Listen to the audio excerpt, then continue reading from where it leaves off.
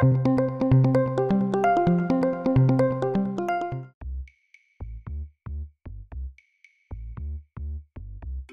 you can see, the first thing you need to do is remove the cover.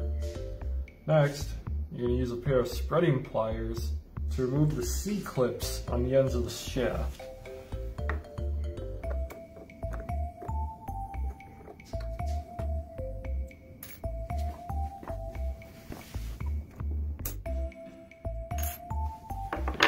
Next, you're going to remove the first washer on this end of the shaft. Then you're going to push the shaft out, like so. Can be a little slippery on uh, the gear end of the shaft, so it might be uh, to your benefit to use a, a rag or a cloth just to get better grip.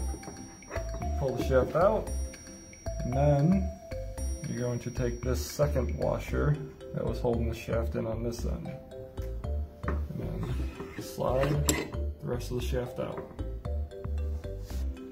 Now we're ready inst to install the new shaft.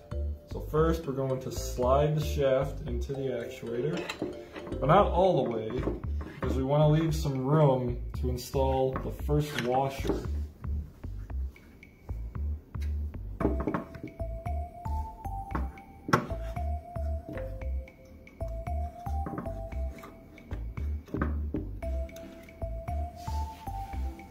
Once the washer is on the shaft, we're going to push in the shaft the rest of the way on the actuator.